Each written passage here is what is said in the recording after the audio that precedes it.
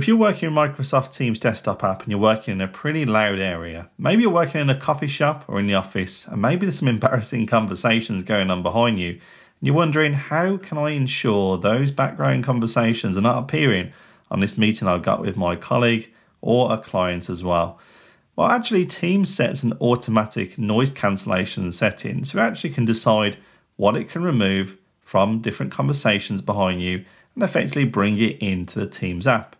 But if you're interested, you can actually move that to the high setting. So rather than Teams guessing the right settings it needs for the particular area that you're working in, instead you can tell it to mute everything out behind you apart from your own voice.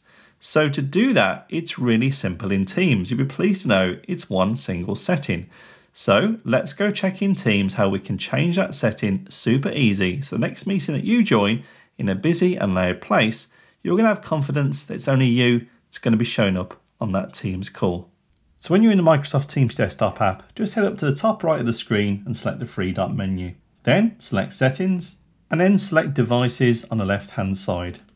The devices will show you all of your audio devices that's been set up, but also the all important setting for noise suppression.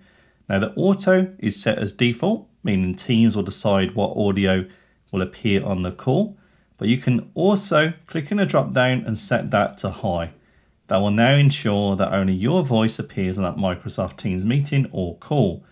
To apply that, just click on the X in the top right of your settings dialog and you're all set. The next time you join a Teams meeting, call, or meeting, that setting will apply. You can equally change it back by going back into the settings menu and just also amending the drop down to another option if you would prefer. But as simple as that, you just improved your Teams meeting experience. So you're thinking, okay, that's great, but how can we do it on a mobile app? Maybe you're on the go, maybe you're working in coffee shops or in a very loud place, and you don't want the conversations coming onto your Teams call if you're coming via the Teams mobile app. Well, the good news is again, if you're running an iOS on an Apple device, there's a setting to do much the same. You can actually head into the settings and effectively turn off again that background noise. It's only your voice that appears on that Teams call. So if you'd like to check out how to do it on the iOS Teams app, let's go have a quick look now and see how we can easily do that. So to get started, open the Teams app on your mobile, then go into settings. Once you've done that, You'll then see a section under calling, tap that, and then within there, you'll see noise suppression. Then in noise suppression, head down and then select that and turn noise suppression to high. Once you've done that, you'll now ensure that all of those noises behind you on those calls will always be blocked out.